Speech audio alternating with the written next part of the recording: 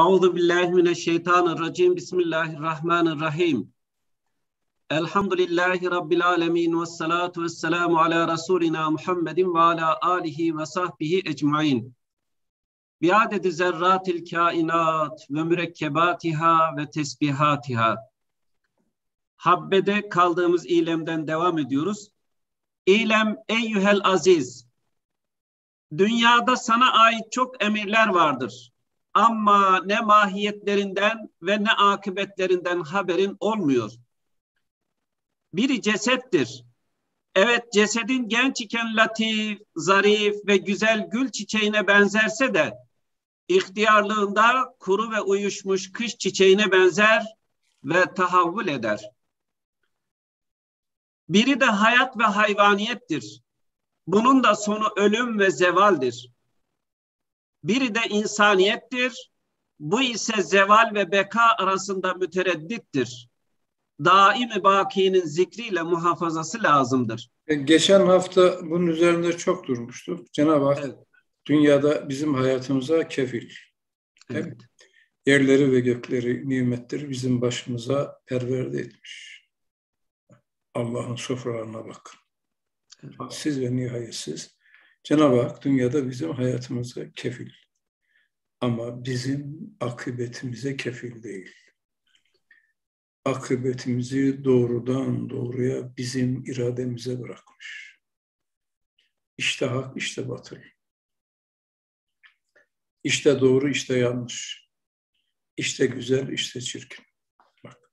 Onun için din olayı tercih olayıdır. Din olayı teveccüh olayıdır. Allah akıbetimize kefil değil. Dolayısıyla insaniyet nimetine sahip çıkmak lazım. Eğer bir insan Allah korusun imansız giderse insaniyet nimeti de ondan alınıyor. Bak. Yani şu insan simasıyla kafirler cehenneme atılmayacak. Evet. Onu Biri muhafaza etmek lazım. Neyle? Daim, Daimi bakinin zikriyle zikirle, fikirle, ibadetle, marifetle, itaat-ı inkiyatla şu insaniyet nimetini muhafaza etmemiz lazım. Yoksa elimizden alınacak. Evet. Biri de ömür ve yaşayıştır. Bunun da hududu tayin edilmiştir. Ne ileri ve ne de geri bir adım atılamaz. Bunun için elem çekme, mahzun olma.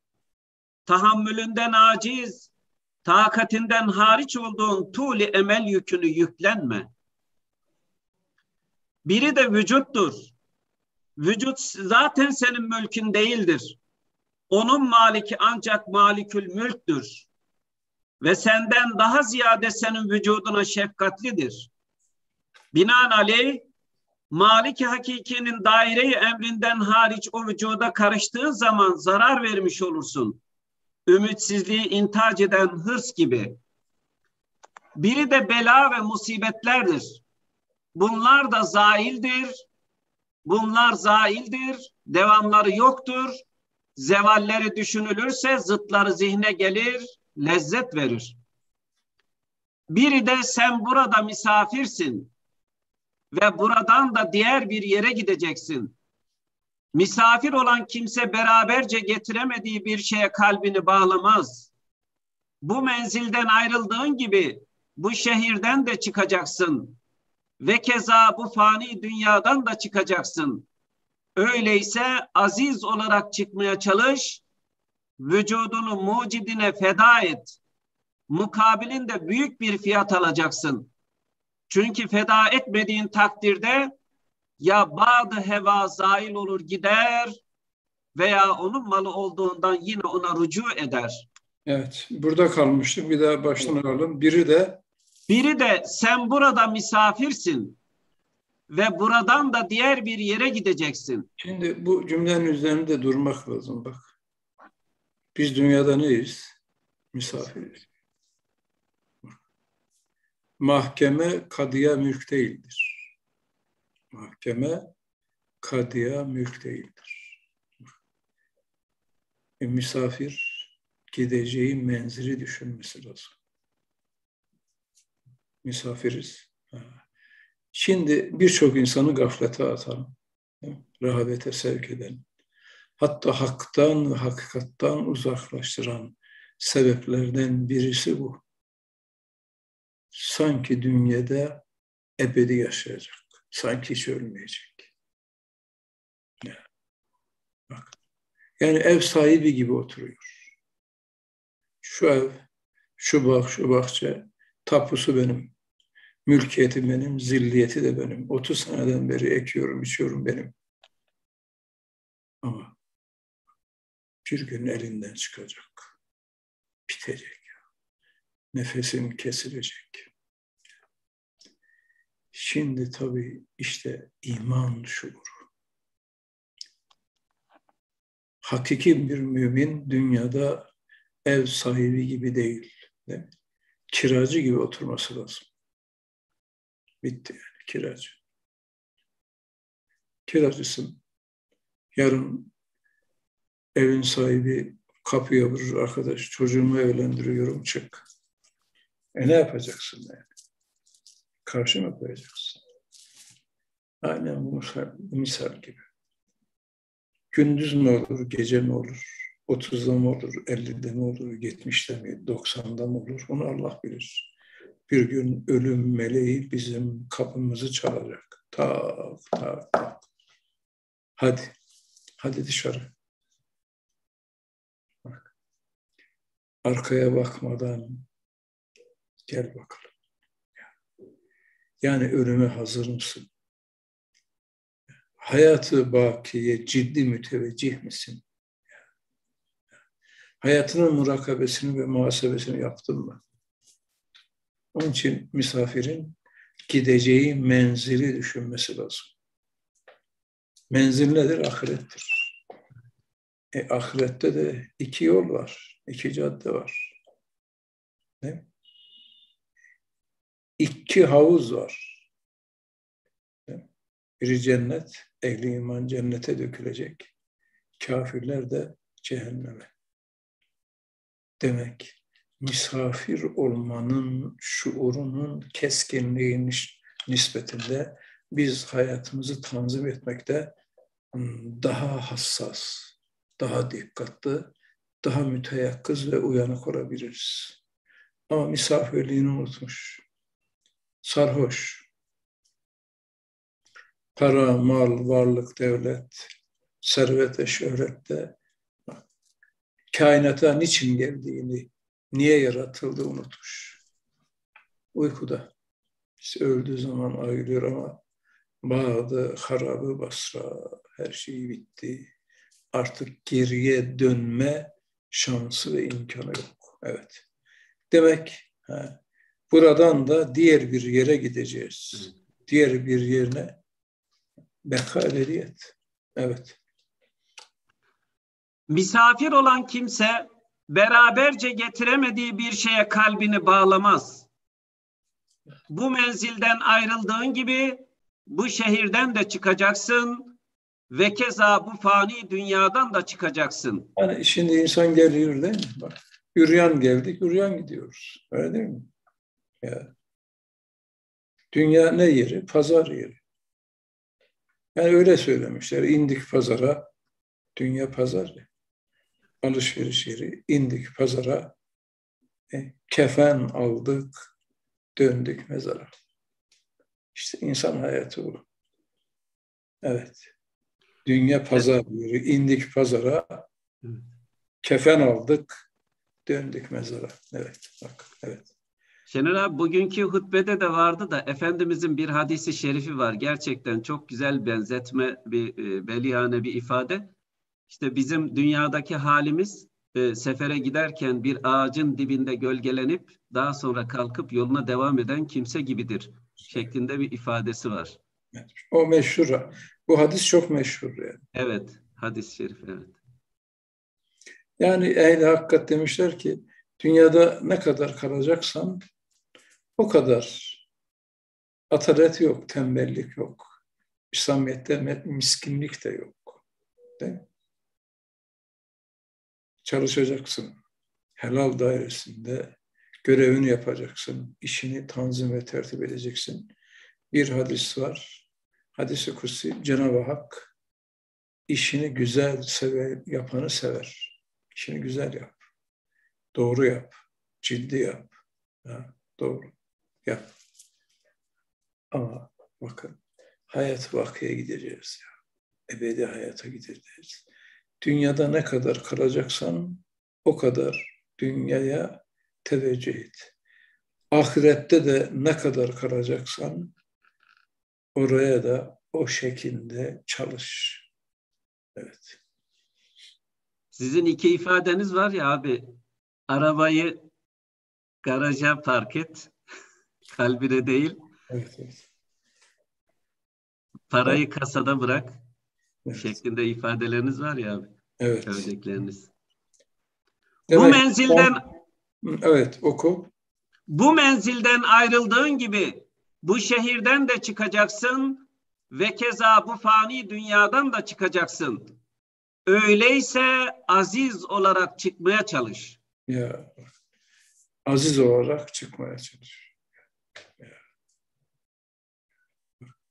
Dünyada ve ahirette izzetin yolu nedir?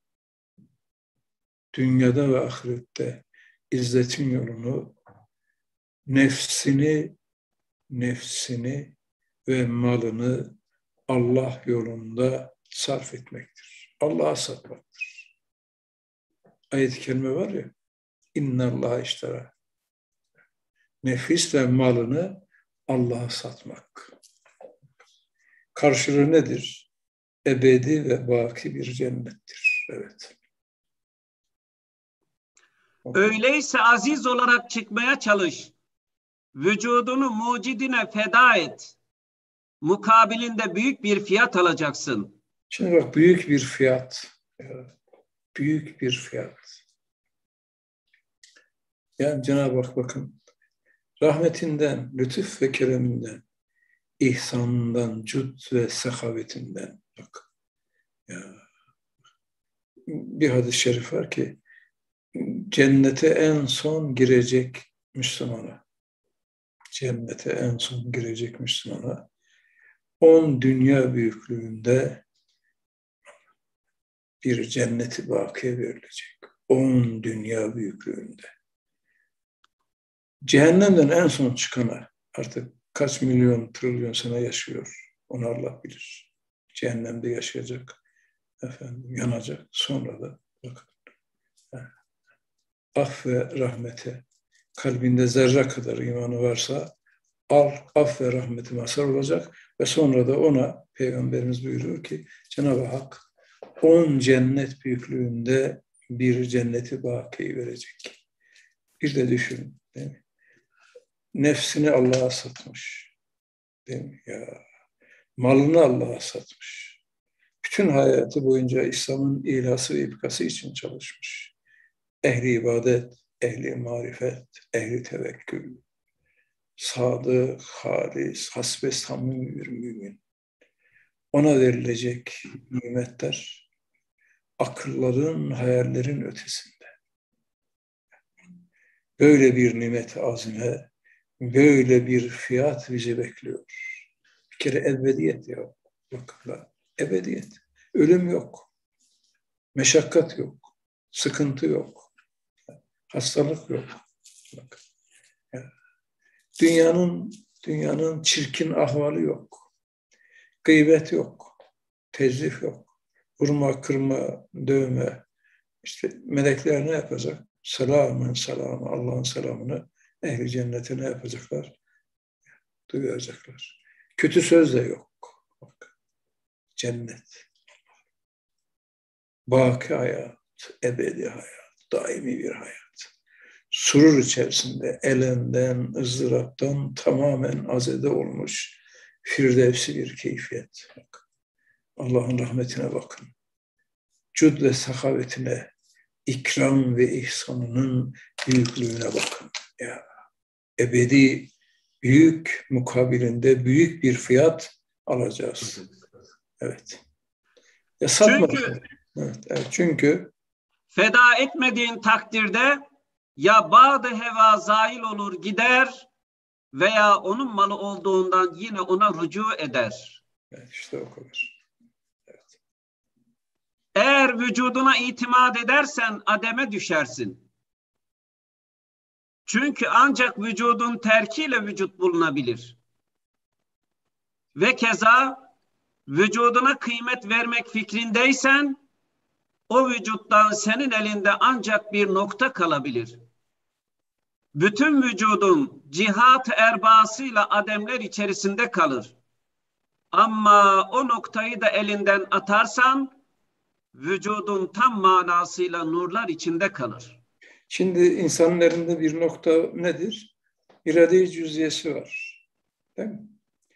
Yani Cenab-ı Hak insanı kavak ağacı gibi, kaldırım taşı gibi yaratmamış. Robot da değil. Aklı var, şuuru var, kelamı var, lisanı var. Temiz ve tefrik kabiliyeti var. Ve bir de en başta iradesi var. Tercih meselesi var. Ha. İşte zaten e, teklif bu irade üzerine kurulmuş. Cenab-ı Hak bizi irademizle İnsan robot değil bak.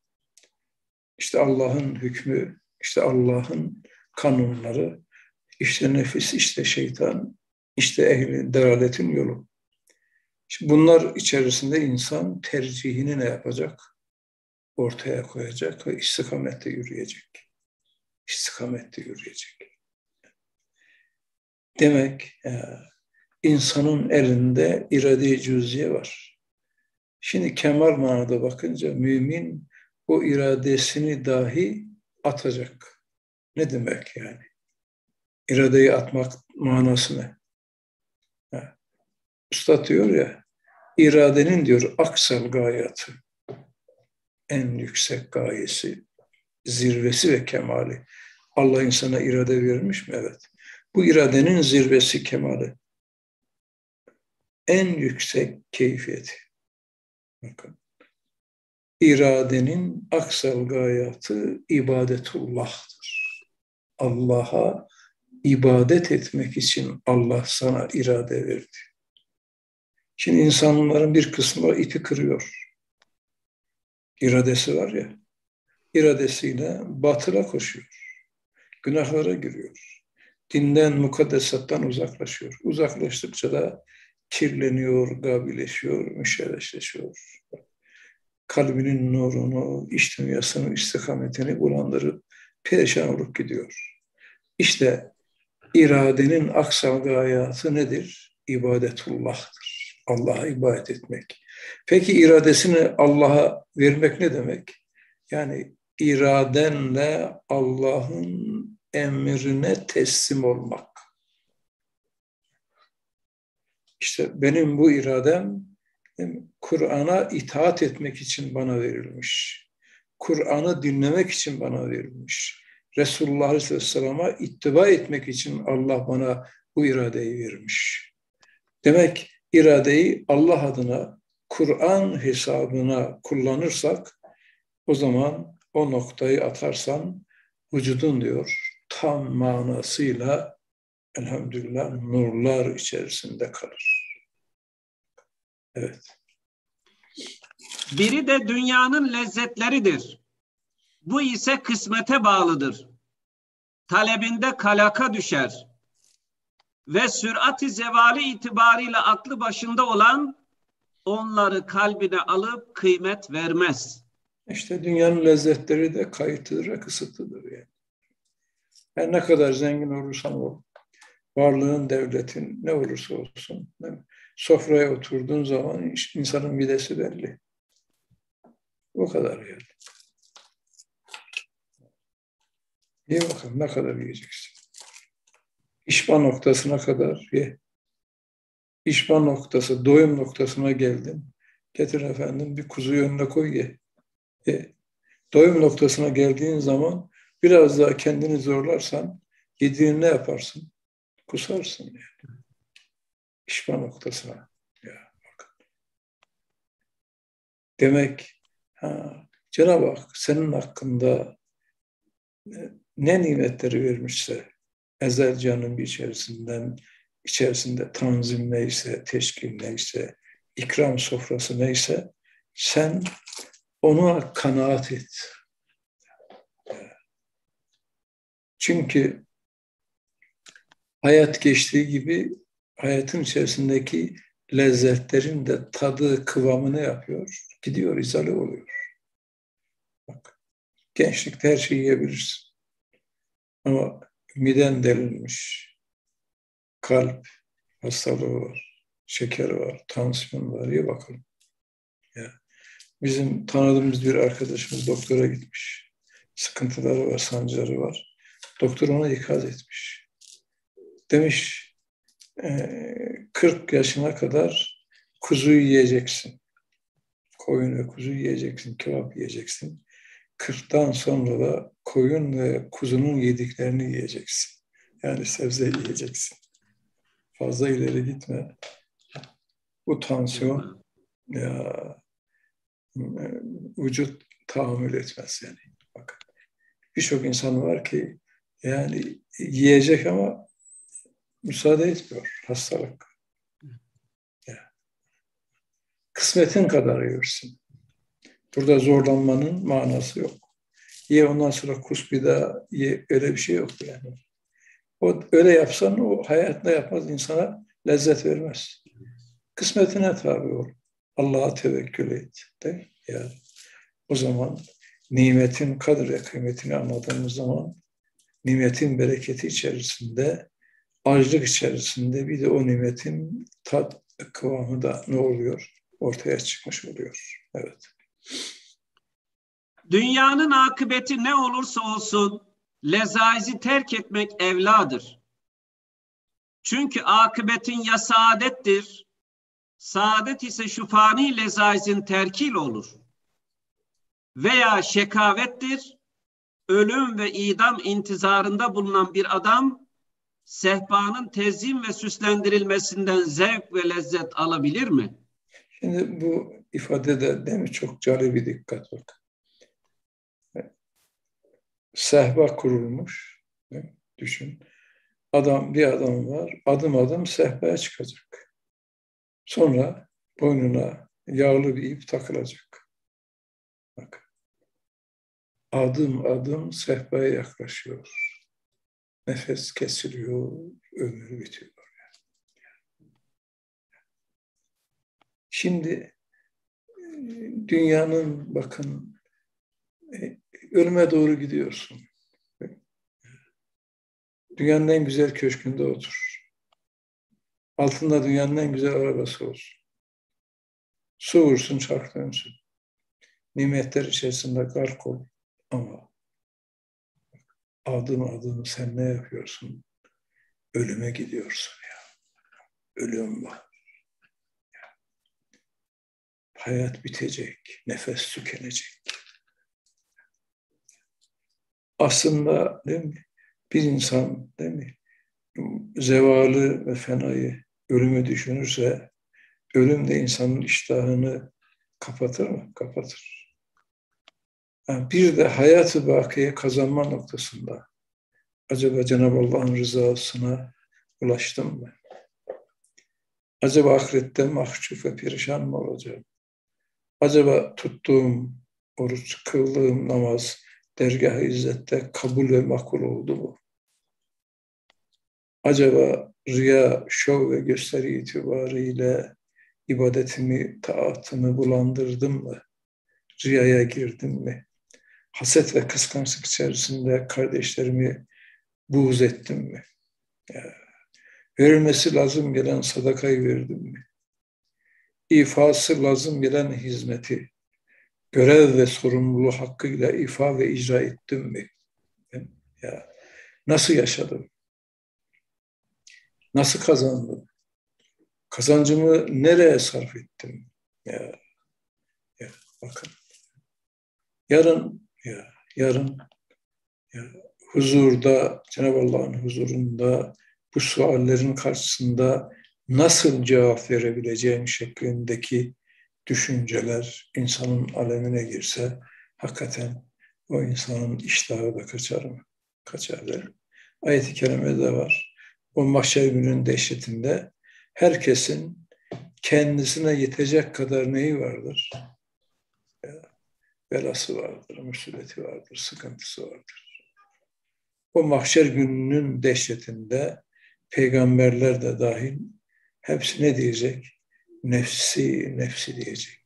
Sadece Resulullah ya ya secdeye kapanıp ümmetin ya, kurtuluşu için Allah'a münacatta bulunacak. Evet. Dünyasının akıbetini küfür saykasıyla ademi mutlak olduğunu tevehhüm eden adam için de terki lezaiz evladır. Niye şimdi bir adam şimdi ahirete inanmıyor. Ahiret yok onun nazarında. Ölümle biteceğim. Ölümle tükeneceğim. Ölümle ben bütün sevdiklerimden, gönül dostlarımdan ayrılacağım. Bağım, bahçem, varlığım, devletim, servetim, şöhretim, itibarım, mülkiyetim, saygısım. Bunların hepsinden kopacağım ve toprağa girip çürüyeceğim. Şimdi gerçekten bu manayı murakabe eden bir insan artık ademe mutlaka gidiyor. Böyle tevehüm eden bir insan da aslında lezzayıcı ne yapamaz? Lezzetleri çağıramaz. Uykusu kaçar bak. Hayat gidiyor ya. Hayat tükeniyor. Ama bak kafirin dünyasında tükenmek bitiştir. Bitmektir yani. Nasıl bitiştir? Ebedi bitiştir. Sonsuz bitiştir. Ama müminin dünyasında ölüm bitiş değildir. Yani yeniden doğuştur. Hayatı bakiye adım atmaktır. Cenab-ı Hakk'ın sonsuz nimetlerine mazhariyette hayatı bakiyi kazanmak, Cenab-ı Hakk'ın rahmetine, lütuf ve keremine mazhariyet gibi bir nimet azimedir. Evet. Dünyasının akıbetini küfür saykasıyla ademi mutlak olduğunu tevehhüm eden adam için de terki lezaiz evladır. Çünkü o lezaizin zevaliyle vuku'a gelen hususi ve mukayyet ademlerden ademi mutlakın elim elemleri her dakikada hissediliyor. Şimdi bakın bu, cümle, bu cümlenizden de durmak ve düşünmek lazım. Şimdi Allah'ı bilmeyen kafir bir insanın dünyasında çok hususi ve çok kayıtlı ademler var. Bir de ademi mutlakın elim elemleri. Yani ademi mutlak ne demek? Artık onun gözünde her şey neye gidiyor? Yokluğa gidiyor. Her şey bitiyor. Her şey tükeniyor. Her şeyin nefesi kesiliyor.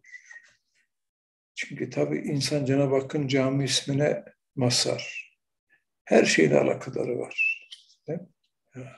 Bağla, bahçeyle, insanla, hayvanla, böcekle, sinekle, değil mi? Hayal dairesinde, tasavvur dairesinde, mülkiyet dairesinde, değil mi? İş ve meşguliyet dairesinde, bak hayatın bütün tabakaları itibariyle insanın pek çok neyi var? Mütenevi tabakatı var. İhtiyaçları var, arzuları var, akrabalıkları var, münasebet kurduğu insanlar var. Bütün bunlardan ne olacak? Ebediyen kesilecek. Ademi mutlakın tamamen yokluğa gidiş ve bitişin elemlerini yaş geçtikçe, ölüme yaklaştıkça o insan her dakikada ne yapacak? Hissedecek. Hisseder. Evet. Peki onu işba edecek bir şey var mı? Yok. Ne onu teselli edebilir? Onun o yokluk ve bitiş, elem ve ızdırabını hangi şey tedavi edebilir? Fen mi? Felsefe mi? Para mı? Şöhret mi? Makam mı? Alkış mı? Rüya mı? Hadi. Hiçbir şey onu tedavi edemez. Mutlak yokluğa gitmenin elemi fevkalade dehşetlidir. Ama bakın Allah'ın rahmetine. Bak.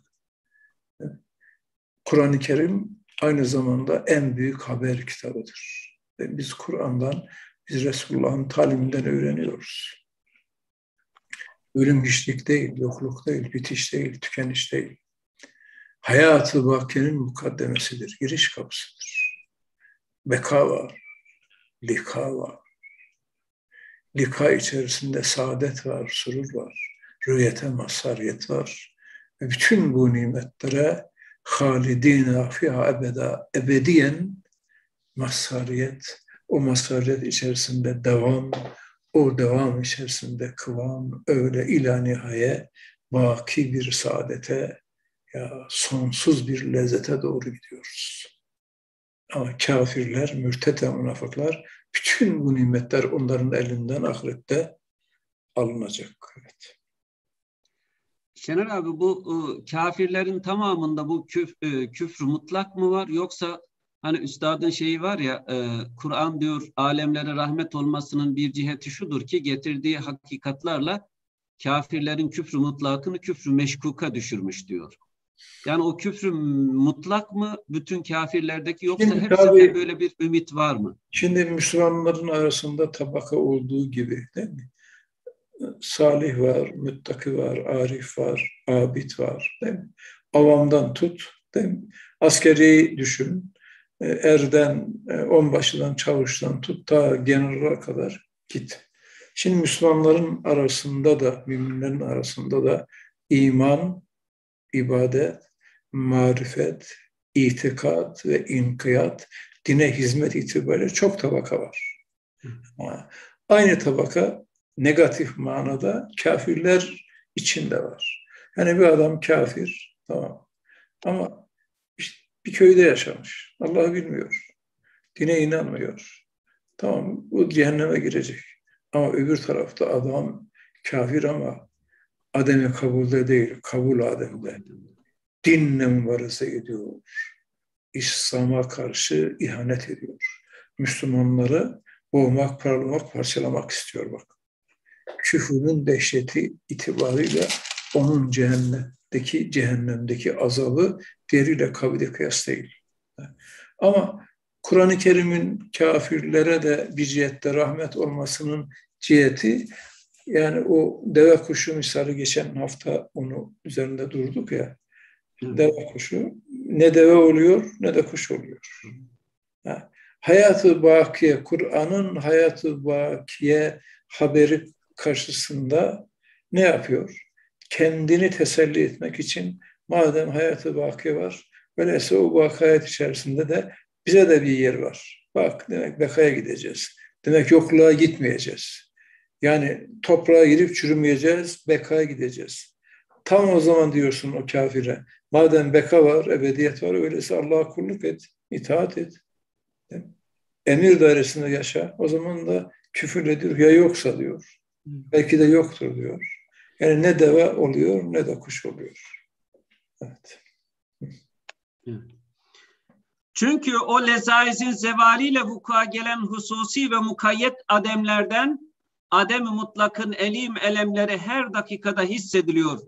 Bu gibi lezzetler o elemlere galebe edemez. İlem eyyühel aziz, merayı tecavüz eden koyun sürüsünü çevirtmek için çobanın attığı taşlara musab olan bir koyun lisan haliyle biz çobanın emri altındayız. O bizden daha ziyade faydamızı düşünür madem onun rızası yoktur dönelim diye kendisi döner, sürü de döner. Ey nefis, sen o koyundan daha asi ve dal değilsin.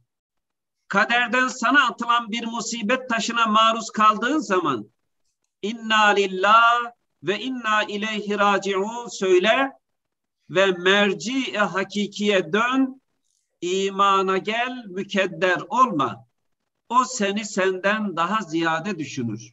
Bir de okuyorum bu ilemi. İlem eyyühel aziz, merayı tecavüz eden koyun sürüsünü çevirtmek için çobanın attığı taşlara musab olan bir koyun lisan haliyle biz çobanın emri altındayız. O bizden daha ziyade faydamızı düşünür. Madem onun rızası yoktur dönelim diye kendisi döner, sürü de döner. Evet, şu misal tahtında meseleye bakmak lazım. Evet, ey nefis oku. Ey nefis, sen o koyundan fazla asi ve dal değilsin. kaderden sana atılan bir musibet taşına maruz kaldığın zaman inna lillah ve inna ileyhi raciun söyle ve merci hakikiye dön, imana gel, mükedder olma. O demek seni ki, senden daha ziyade düşünür. Demek ki kaderden atılan musibet taşları. Koyun misal gibi. Allah Allah. O taşlar değil mi? niye atılıyor? Yani, sürü, koyun sürüsü bir başka bir adamın tarlasına girmiş. Hukuka tecavüz edecek. Mülkiyeti çiğniyor. Hakkı olmadığı halde bak haram lokma yiyor. Karnını doyuruyor. Sütünü bozuyor, etini bozuyor. Bak. İşte çoban taş atıyor ta ki sürü istikamete girsin. Aynı bunun gibi düşünmek lazım. Demek ki kaderden gelen müsibet taşları hakkat noktasında bizi istikamet vadisine celbetmek içindir. Helal dairesi kafidir. Harama girme. Hakka tecavüz etme. İnsanlara hiddet, öfke ve infial ile kötü davranma. Hukukunu bil, görevini anla, niçin dünyaya geldiğinin murakabesini ve muhasebesini iyi yap. Demek o taşlar her ne kadar kaderden gelen taşlar her ne kadar nefse ağır gelmiş olsa bile aslında o taşların arkasında nefsin terbiyesi matluptur.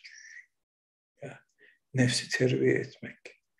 Nefsi istikamet çizgisine sevk etmek için zahiren müsebettir. Hakkat noktasında insanları hakka, hakkata, istikamet kulvarına sokmaktır. İşte bu itibarla baktığımız zaman şöyle bir neticeye gidiyoruz. Demek ki hakkat noktasında müsibetler, elemler, sıkıntılar ve hastalıklar insanı helak etmek için gelmez. O müsibetler tahsih içindir, tekmil içindir, tedavi içindir, arındırmak içindir, safileştirmek içindir fıtratına dönmek, fabrika ayarlarına geri çevrilmek içindir.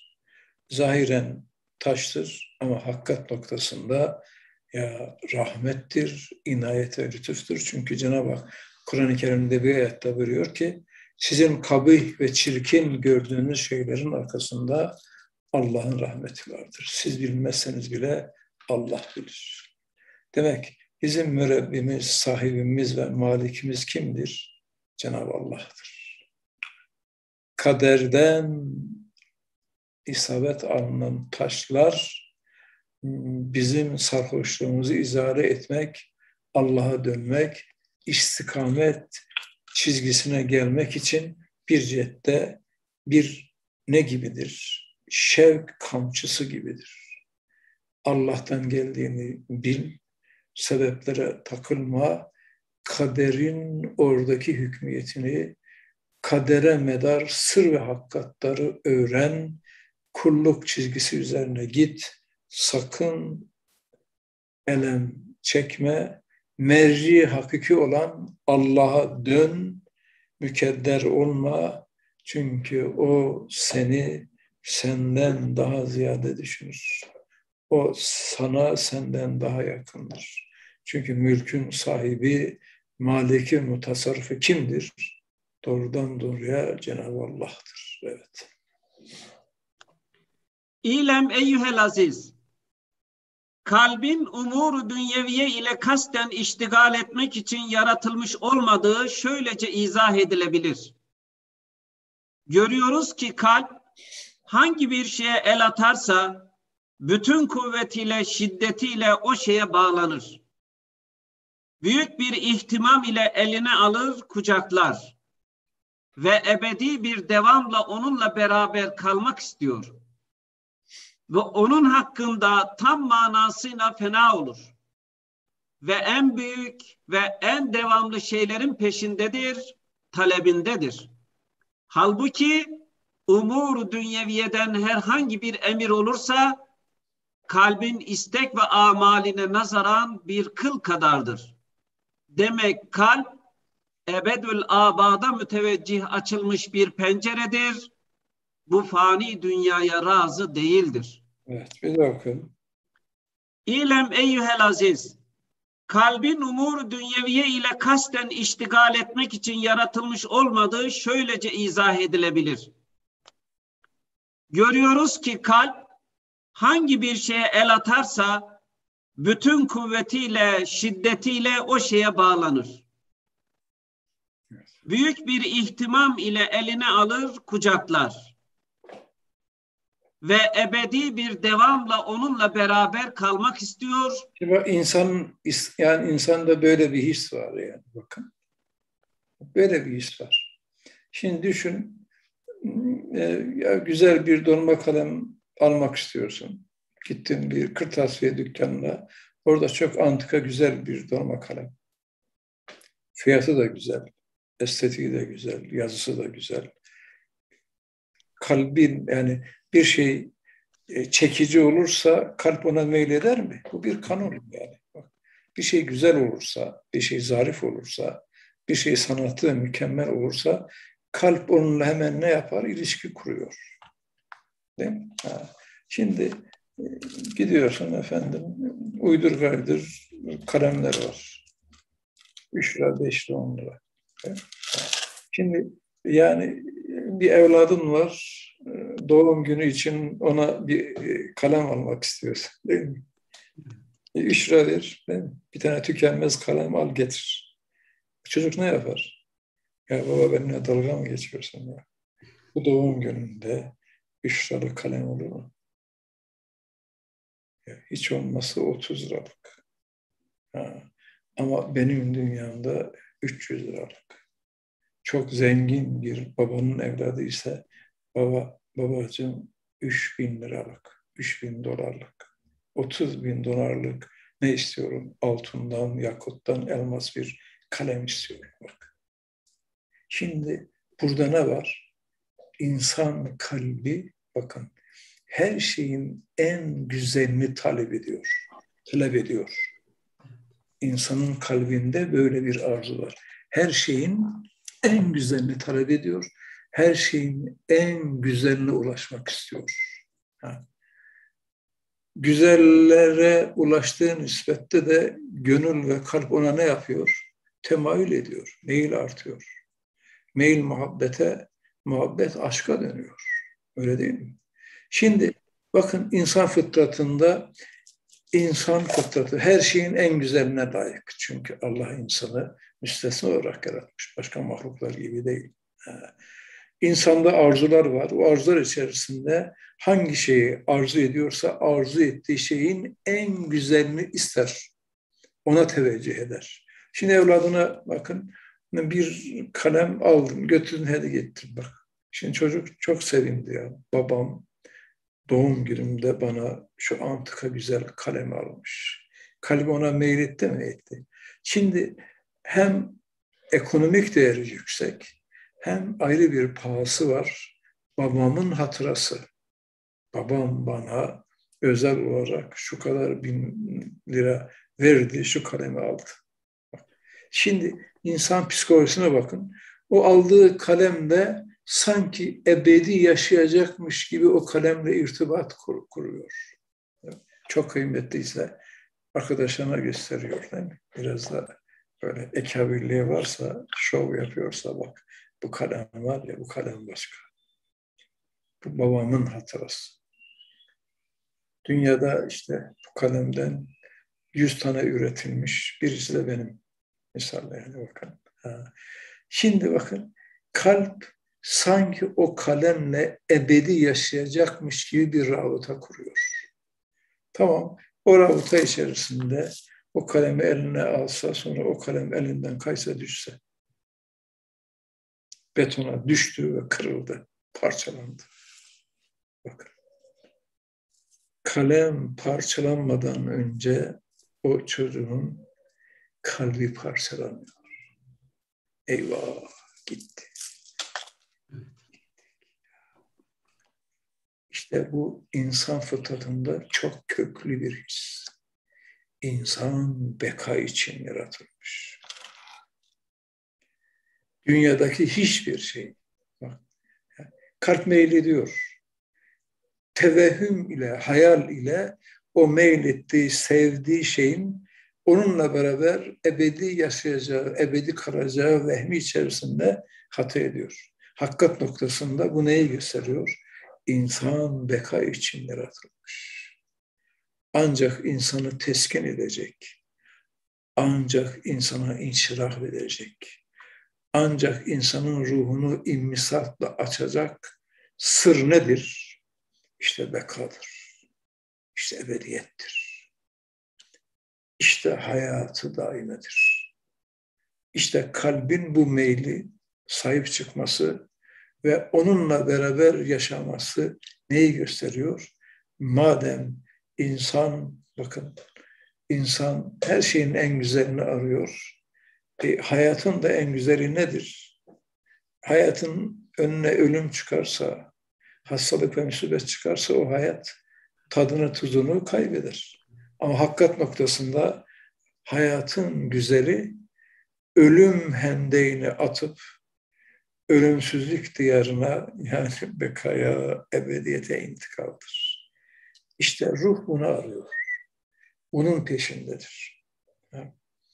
Bilsin veya bilmesin, idrak etsin ve etmesin demek kalp aslında hakikat noktasında ebedül ebe, ebedül abada mütevecci açılmış nedir? Bir penceredir. Dünyaya, fani dünyaya, fani dünya içerisindeki eşyalara razı değildir. Onun için bekadan başka hiçbir şey insan kalbini işba etmez, doyurmaz, tatmin etmez, teselli vermez. Bir şey ki gelip geçiyor, kırılıyor, dökülüyor, mahiyet hüviyetini değil mi? kaybediyor ise o kalbin alakasına layık değildir. Kalp ona teveccüh etmez. Demek kalpteki bu kuvvetli meyil hayatı bakiyenin geleceğinin ispatı olduğu gibi insan kalbinin de bu fani dünyaya razı olmadığına alameti işarettir. Evet. İsterseniz burada kalalım. Subhaneke la ilme lena illa ma allamtena inneke entel alimul hakim ve ahir davahum enilhamdülillahi rabbil alemin. El Fatiha.